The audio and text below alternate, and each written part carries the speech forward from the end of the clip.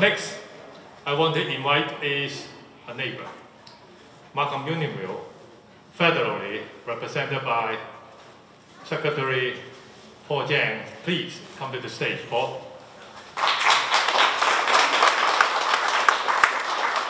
Thank you, Michael. Thank you so much for, and thank you, Sandra, for inviting me here today.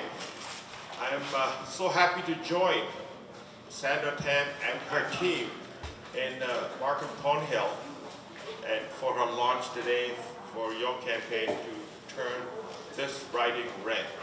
So it's so important for us to support Sandra and it's so important for us to get this riding converted to liberal riding because we can work positively between the federal and the provincial government when we all on the same side.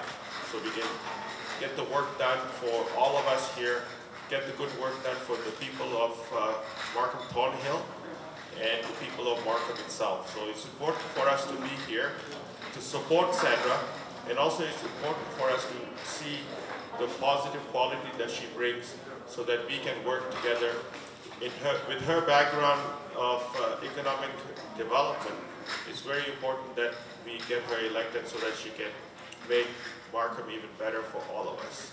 So I'm hopeful all the communities, I can see a very uh, diverse background of people in this room right now, and I'm sure with the help from all of you, we can ensure that Sandra wins this riding for all of us. Thank you so much for inviting me. Good luck, Sandra.